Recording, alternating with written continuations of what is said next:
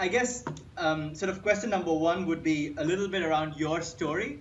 So I think two specific, two big questions, right? So obviously, I, I know you teach uh, at the American School here. Uh, you're also an investment guru. You're an author. So how did all of this come about, and how did Singapore come about? I know you're Canadian, so it'll be great to get a sense of sort of the big uh, moves in in your life.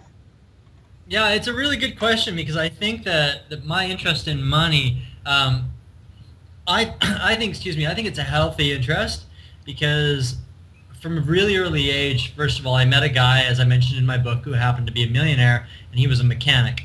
And, and he really inspired me by saying, look, it doesn't matter what you do in life. If you yeah. do something that you're passionate about and you learn to manage money, that's the key because he said, you know, you could make $500,000 a year and if you're spending $501,000, you're really not growing wealthy at all. The moment your job dries up, you're done. So I started investing from a really young age. And two, what I recognized was that I wasn't necessarily going to live until I was, nor does anyone really have a guarantee yeah. you're going to live until you're 60, 70, 80, 90 plus. Yeah. So any one of us could get hit by a bus tomorrow. And, and I recognized that. So when I was about, I was about 31, I I had been teaching. I built up a, a reasonable uh, sized investment portfolio, and and I took a year off, and I traveled, and I, I had a year. And what I had done was I'd actually I budgeted really well. I had started a uh, it was like a deferred salary leave program at my school. Hardly anybody took advantage of this opportunity, but it was a really good one, yeah. whereby you give 33% of your salary to the school district for okay. three years, and then they give you back your full salary in monthly payments uh, in your fourth year, and you have your fourth year off. And the idea is that you're guaranteed to actually have your um, your job back if you yeah. want. Yeah. And so, so what I did, and I think too, this is one of the things, is that I, would saved up a lot of money. I had a, a, fairly substantial amount by the time I was 31. And I also recognized that, you know, life is short. I'm going to take this opportunity.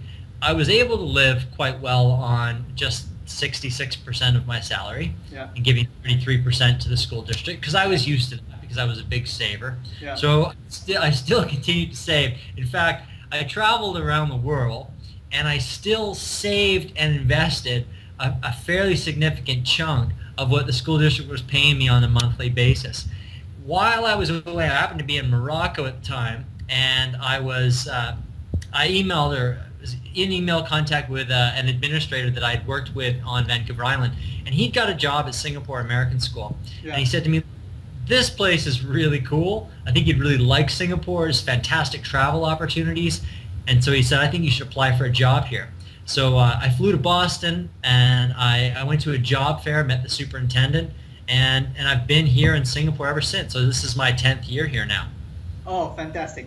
I, I guess the next big question is, how do you, so there's, there's two sides, right? So you're a teacher. And what do, what do you teach, uh, Andrews? I teach two things, actually. I teach personal finance. Okay and and I teach English 9, so English to 14, 15 year old kids. So so so now the next question is how do you teach investing fundamentals to kids at school? Like it feels so far out from what a normal kid would be doing at school. Yeah, I think there's a trick to it, honestly, and and, and I and I think I think I found the trick. Okay. Um, I talk to kids about um, first of all, what I do is I show them I, I ask them certain questions. Like I ask them, hey, what do you think uh, $10,000 invested in the U.S. stock market would be worth today if it were invested 10 years ago? Yeah. What would it be worth if it were invested 10 years ago, $10,000 today? Yeah. And I, and I show kids how to actually find that answer. I don't give them the answer.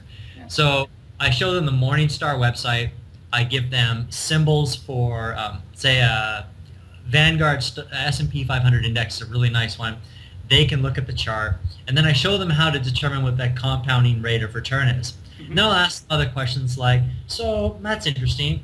Over the last 15 years, yeah. what would $10,000 be worth if you invested 15 years ago? Yeah. And they figure it out. Yeah. And then, of course, their, their eyes go pretty big.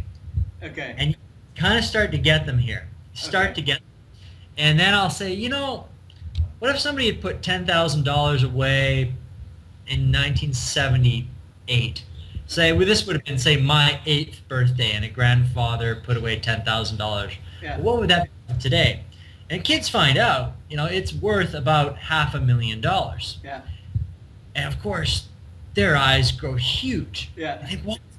I got to do this. I got to do. This. And the moment you got them saying, "I got to do this," Yeah. that's when that's when you got them. Now here's the thing too. Here's where you sort of you make you make a bridge towards something applicable. I'll give you an example of what I did today. Yeah. Today I did something called a, an opportunity cost cir- circumstance. And so I say to the stu- say to the students, every decision that you make has an opportunity cost. Yeah. So if you choose to go to Starbucks three times a week for a muffin and a drink versus somebody else who chooses to go to Starbucks for a muffin and a coffee maybe once every two weeks, Mhm. there's an opportunity cost to going three times a week. And so kids go, okay, well, let's figure out what that cost appears to be on an annual basis. Yeah. So they might come up with something like, wow, you know what? Let's just say it's $10 each time you go. You, know, you put a little tip in the jar, you've got your coffee, you've got your muffin. Let's just say it's 10 bucks each time you go. Well, you find that when you compare the person going three times a week versus the person going once every second week, the difference between the two amounts to something like, I don't remember off the top of my head, I'll say, say $1,200 a year. Okay. Now they look at that and they go, wow, Yeah. that's a lot of money. And then I ask this question. Say, hey, you guys, let's assume that instead of spending $1,200 a year for this, the going three times a week versus once every second week, what if somebody invested that $1,200 a year for 40 years Yeah. at the average rate of return that, say, the U.S. stock market has made over the last 30 years? And they'll go, what has it made over the last 30 years? And I'll say, well, you figure that out. So they go to the Morningstar, they figure it out, and they come back and they say, you know what? It's about 10% a year. And I said, well, that's correct. Good. Now figure this out. Figure out what that savings would do if that savings went into, let's say, the U.S. stock market for 40 years. Let's say it was $1,200 a year, um, and they earned 10% a year. So they do the math, and then they look at me and they go, Mr. Hallam, this can't be right. What do you mean it can't be right? Well, it says it. It, comes up to six hundred thousand dollars. And I say, bingo. That's the actual cost between going to say Starbucks three times a week versus going to Starbucks every second week. And now, then we get to the point where I say, you guys, that's one decision. That is just one, that's one decision. Now what happens if you have a person who every five years buys a new car versus a person who every five years buys a used car for the rest of their life? Let's figure out what this would be. So you have decision after decision after decision. And I tell the kids, I tell the kids, hey, look, and I use the, we got this big long whiteboard. And I say, look, most of the school teachers here get paid roughly the same amount of money. Yeah. Now, if we were to take school teachers between the ages of, say, 45 and 50 with two kids, Yeah. and, and I was to put their names up on the board, all the teachers that you have in school, Yeah. and this is a fairly general cross-section of society. This would apply at any workplace. Yeah. And I said, not put your teachers' names up here on the whiteboard and what their net worth was, Yeah. how much money they have. I told them it would range between them having a negative figure, negative net worth, despite SAS being a really good school, really well paid, Yeah. negative net worth to well over a million dollars on the far end. Yeah. Why? And then I asked that question, why? And of course, they now have an answer. Yeah. They go, well, even something as simple as three times a week at Starbucks versus once every second week, even something like that, if that can make a difference of, you know, hundreds of thousands of dollars, Yeah. what about these other little decisions that get made, like the five-star holiday versus the three-star holiday over time, flying business class versus flying uh, economy class, Yeah. you name taking taxis every day versus taking the MRT. Yeah. I mean, these differences are huge. And so for me, the trick is getting the kids to come to these conclusions on their own. Yeah. That's where it starts to become powerful for them. Ah, that's brilliant. So the next big one is the most common investment advice bandied about is go buy a house, right? So um, uh, one what you know I and, and, and I know you, you've shared a bit of this in the book, but I think there's a bit of local flavor that I'd like to add. One is how do you think about property as an investment? What do you tell people? Uh, because that seems to be common knowledge. And the second part is the property prices in Singapore, as an example, seem to be way beyond uh, sort of normal levels. Like, would you invest in something like this, or, or would you just stay away? Uh, you know, given the famous Buffett quote that you like, when uh, you know, I think it was I, I forgot what it is. When I think the uh, the neighborhood boy gives you investment advice, it's time to stay away, or something like that, right? yeah, yeah. You know, the funny thing about any asset class, whether it's gold or whether it's stocks or whether it's real estate, is the moment everybody thinks it's a really good thing, like you're suggesting here, it isn't. And so one thing that's fascinating, and I'll give you a really great example. Uh, in around 2003, 2004, 2005, when I first came to Singapore, yeah. all the teachers, all the teachers are rushing up to me, and they're all wanting to buy real estate yeah. in the United States. And I would say, okay, why do you want to buy it? Yeah. And they say, well, I want to buy it because it keeps going up in price. Yeah. You know, my friend's real estate has just risen 70 or 80 or 100%. Yeah. If I don't get in now, I'm never going to be able to get in. Yeah. So say, well, that's kind of faulty reasoning, really, if that's your reason, yeah. if that's what you're looking at. But one thing I find that's very interesting is that some of the best real estate in the world right now, in terms of price to yield ratios, yeah. are in the are in the United States. Yeah. Now, how many of my friends are coming up to me and telling me about homes they're buying in the United States right now? Yeah. and I look to my American friends and I go, look, look, if you buy a duplex or a triplex in the United States in your hometown and you put, let's say, 10% down as a down payment for the mortgage, yeah. your, your tenants will pay for the mortgage, yeah. the expenses, the upkeep, the maintenance fee, because the yield on those properties is so high, meaning that the rent received relative to the price of the property is quite substantial. It's not all that hard in the United States currently to get rental yields of 10 to 12% per year. Yeah. This is phenomenal. Yeah. This is phenomenal. And I, I think from a business perspective, people need to always think of cash flow. Yeah. Not so much speculation, but cash flow. And every market goes through its thing. I'll give you an example. Um, when I first came to Singapore, I was actually kind of interested in Singapore uh, real estate. And I remember mentioning to some Singaporean friends of mine, I said, hey, look, um, that's kind of interesting. That place there, that condominium that's, uh, that's selling for $650,000 and it's 1,700 square feet. That's, that's pretty interesting. Oh, no, they'd say. Oh, no, you don't want to buy that. Oh, why don't I want to buy that? Well, you don't want to buy that because uh, it was worth more than that 13 years ago. And if you recall, in Singapore in the late 90s, okay. um, mid to late 90s, real estate really rocked. Okay. I mean, it it really escalated exponentially. Yeah. And of course, the Asian crisis, and then we had real estate coming down significantly. Mm-hmm. And it's so ironic, but it's so much like human nature. Yeah. People want to buy what's recently become more expensive, Yeah. but stock estate, they like it. They feel good about buying what has recently become expensive, and what and they don't feel. What's your rule what's your rule with this so so it's like um, I think you mentioned something like if you don't recoup the money in 10 years of rentals then then you're looking at something that's steep right was was that what you worked with as a rule of thumb I didn't have that as a rule of thumb, but for me, I like to look at what the actual yield is. So what's the return on rent relative to the price? And I compare that with other investments. So that's what Warren Buffett does. When he looks at stock, Mhm. he compares it with the yield on a 10-year treasury bond. okay When he looks at the yield of a when he looks at the yield of a stock, he's not looking at the dividend yield. yeah He's looking earnings, right, divided by price to get an actual yield on the Yeah. stock. So, you know, he's looking at, I don't know, stocks probably yield somewhere in the region of currently about 5%. So developed, developed world stocks as an earnings business yield. yeah Real estate in Singapore, real estate in Singapore yields about 2%. Hmm So it is half as attractive as developed market stocks currently. So this is an incredibly low yield, uh, and it's not something that I would actually be interested in buying at all. Would I ever be interested in buying Singapore real estate? Of course. but not now. No, no, no. Every everything is cyclical. Yeah. All right.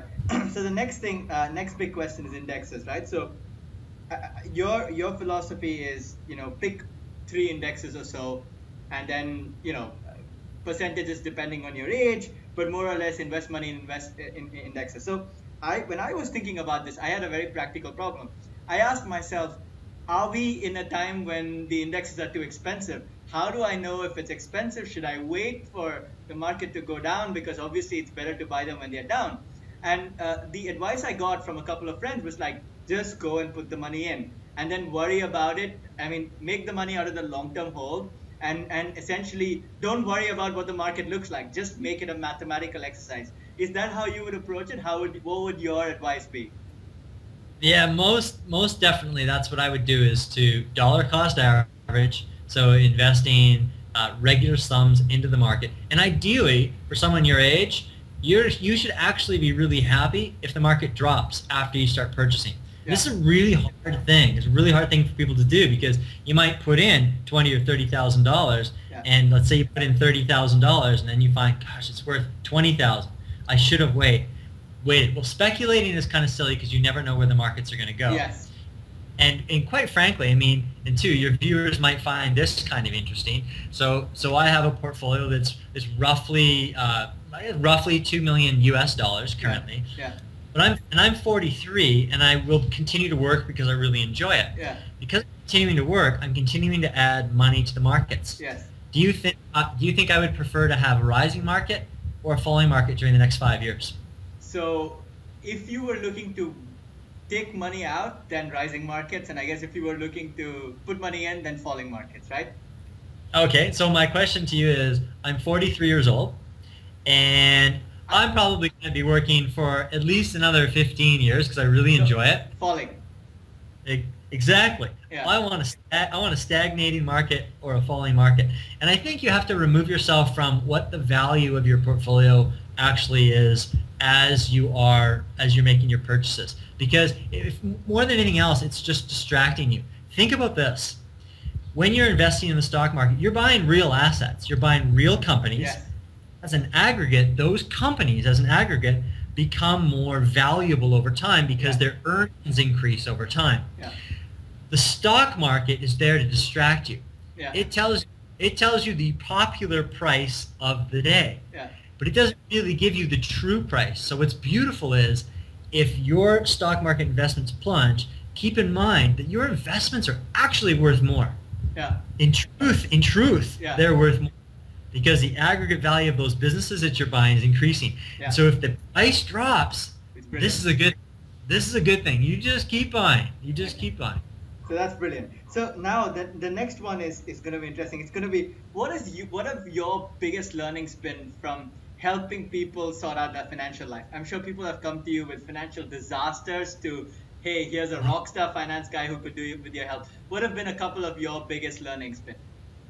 Well, you know, I'll tell you one of my biggest mistakes in teaching people about money yeah. has learning that not everybody can manage their own money. Mm. And I'll give you an example. I could say I could say to you, okay, it is this easy. Yeah. You buy a, you buy a Singapore index, you buy a global index, maybe your bond portion for you becomes your CPF. Yeah. You just you just buy your Singapore and global index every single year from now until you're ready to retire, and and you'll do well. Yeah. That, that in theory is how it works. Yeah. But what I've found unfortunately, yeah. is when the market rises exponentially, people somehow scramble to find more money or they start taking extra risks with their money. Yeah. When market drops, no matter what long-term studies have suggested, they're watching CNBC or they start picking up the Wall Street Journal, they clam onto a reason why this time it's different. Markets are going to collapse. Yeah. And they sell or they cease to buy. I used to think that you could train everybody to invest. It's so simple. Anyone could do it. And then I recognized that a lot of really smart friends of mine, like friends of mine with IQs way above mine, yeah. just aren't, just aren't emotionally wired to invest. but but yet you don't you don't recommend people go to f- financial services institutions, right? Like because Bill Bernstein says treat every financial services broker like a con man and you'll do just fine. So so so so so how do you what's the way out? He's you know he's smart. He's exactly right. You've got I hate to say it, but 99.9% of those guys are uh, yeah, as Bill Bernstein says, they're somewhat crooked.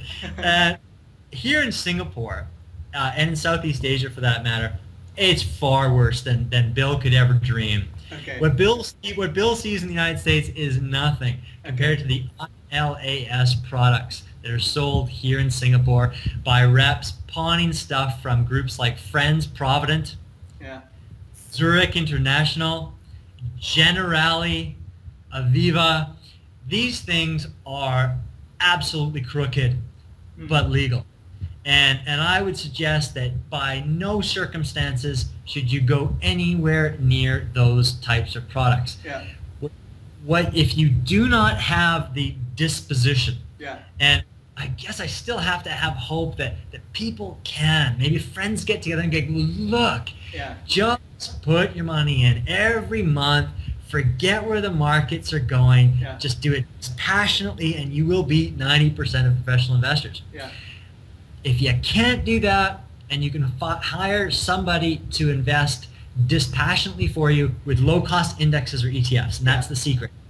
And don't pay them more than 1% per year to do that job. And it's not easy to find somebody that will do that. Um, in Southeast Asia, I know there's a guy named Tony Noto who's in Shanghai he does that. He'll manage accounts of ETFs for people. He'll okay. charge one percent. He's actually moving to Hawaii recently and setting up shop there, but he's still going to be dealing with expats anyway. And that's to me, that's the requirement people would need to sort of. That's the hurdle people would need to be looking for is not to pay anybody more than one percent, and to make sure make sure they invest passively for you with exchange traded funds and not actively managed funds. And back to the other thing, right back to the other thing. I can't stress how much I want people to avoid the ILAS products from Zurich International Friends Provident and Company. Perfect. So now uh, I'm, I'm getting to the final few, so probably about five to six minutes more. But one one question would be, what is your advice for young slash new investors? So I mean, I say new because you could have somebody older who wants to begin investing. And what percentages of salary do you think are a healthy start to to to invest? What, what do you you know? It'd be great to get your view. I think I think to invest, uh, obviously starting as early as possible is great. But my advice is that if somebody has if somebody has debts like credit card debt, they've got to pay that off first. Yeah. So investing while you still have credit card debt is categorically insane. Yeah. Because you could be paying 18% on a credit card loan, yeah. uh, and at the markets you're probably hoping to generate something like eight to 10% per yeah. year. So yeah. it makes sense. So so I would think you know high consumer debt loan, pay that off before you actually start to invest. So that that would be the first thing. Um, second thing was just to just to invest regular sums and just be really just passionate about it. And when I say regular sums, I think I'm looking at something like uh, I'd say 10 to 15 percent mm-hmm. as a minimum, as a minimum mm-hmm. of of somebody's salary, as a minimum. Mm-hmm. That's brilliant. All right, so uh, over to you. Actually, a bunch of quick personal questions. One would be any favorite books that you recommend or you like or you in general beyond investing? Oh, beyond investing? Uh, you on investing and beyond investing, just generally favorite books. Ah, uh, generally favorite. Well, right now I'm reading a fantastic book called Our World's Story. Okay. And uh, a friend of mine, a friend of mine named uh, Eric Burnett, really, really, really bright chap, and he's uh, he's written this fantastic book that sort of a world history book, okay. and, and I'm reading it now, and I'm I'm really getting a kick out of it okay. because it's a it's a kind of history book that you wish you had in school. Yeah. It's a it's highly highly entertaining. Okay. So right now I'm really enjoying that. And any all-time favorites? All-time favorite books? Ah, uh, you know, over and over and over. I hate to admit it, as dry as it seems for so many people, but but I've probably read The Intelligent Investor by Benjamin Graham. I've probably read that crazy thing 30 times. Perfect. that's, I'm embarrassed to admit it, but I love it. Ah, that's brilliant. And and what about any uh, favorite movies or TV shows that keep you going? favorite movies or TV shows? You know, right now, the one that I absolutely love, TV show, is that American Ninja. American Ninja. Okay, interesting. have you have you seen it? No, never, never. Oh, oh, oh! You've got to see it. it what it what it is, this obstacle course. And Yeah. so what I like to do is I like to, I like to keep really fit. So like today, I ran home from from work. It's about Yeah. a 12 kilometer uh, 12 Yeah. kilometer run. Yeah. I'm usually at the gym one day working out, and then the next day I'll, I'll go for a, like a 10, 12 kilometer run. Yeah. I like to make it hard and intense. Yes. Um, but the show is fantastic. So these guys go through these obstacle courses that take about a minute to get through. Yeah. And the real stuff take about 40 seconds. And I'm telling you, if it's on tonight, I want you to watch it because it is insane what these guys can do. It is incredible. That I love that. I love that. I saw I saw uh, in the states. I was actually watching one. They have it here in Singapore. I was watching the uh, it just last night or the night before. Yeah. But I saw this 47 year old guy rip through this course, and man, I went, oh, I want that to be me. That was awesome. Brilliant. So the last couple of questions. One is you do so much. You're a teacher. You write. You, you maintain a blog. You write articles. What are some productivity hacks that keep you, uh, you know, uh, keep you first amongst the mix mix of things, keep you productive? What are things you do in a day? yeah, I'm wondering about that myself because it is hard. It is it is really hard. You know, finding little bits uh, bits of bits of time. Like my wife takes longer to to get ready for work than I do. It gives me about gives me about 15 minutes. Yeah. And so I, I can sit on my butt and wait for her for 15 minutes, or I can write something for 15 minutes. Yeah. And so as I said, you know, um, if I if I just do four days four days of just actually being productive and having a Word document open Yeah. and writing for 15 minutes at a time, I'm getting you know about an hour's worth of writing, and and really it's a lot of time that, that ordinary people would waste. One of the things too that I do is uh, what I could like I was saying to you, I like to work out and I like to run. But instead of driving home or taking the bus home and then going for a run to save time, what I do is I run from work. Yeah. So it, it takes me about you know maybe 50 minutes to run the 12 kilometers. Um, but normally it would take me like you know on the bus it might take me 30 minutes. Yeah. So so uh, for 20 minutes, a Yeah. 20 minute time period, I get you know a 12 minute run. Yeah. So there are these little tricks. I think too another thing is you got to be really passionate about what you're doing. You got to be really excited about what you're doing. So then when there are those little opportunities where, oh yeah, I've got 20 minutes or I've got 40 minutes, I'm actually excited to write an article or to get something down on paper. Fantastic. Final question. And what is it, what is an idea or thought that inspires you that you would like to share? An idea or thought. Well, I think uh, the idea that this, go- this might sound morbid, but you're going to be dead a long time. Yeah. and just just recognizing that life is short and at any point it can be snuffed out and i think to me that's really inspiring knowing that you know every day i live is one day closer to my ultimate demise and people people that don't recognize that i don't think they truly live it says you have to recognize that every single day is special so if you work your butt off you know and you're really not enjoying anything because you're trying to reach some goal or some happy point 10 or 15 years in the future that's crazy. Because you can end up as i mentioned before you can get hit by a bus Yeah. and, and, and then what? You live this sort of life of misery. And you know i kind of see that in singapore with people chasing the five c's a lot. Now what are the five c's? Cash condo car credit card country club whatever. Um, you know i see a lot of people. I've got this great we're in a, a great condominium here. There's a great swimming pool. Yeah. Loads of people live in this condominium. Rohan nobody i don't see anybody down that pool where where are they? Where where are my people live around here? They're not down at the pool. They're on their in their butts off. You know what i mean? You gotta have that kind of balance. That is fantastic, Andrew. So it was so much fun doing this.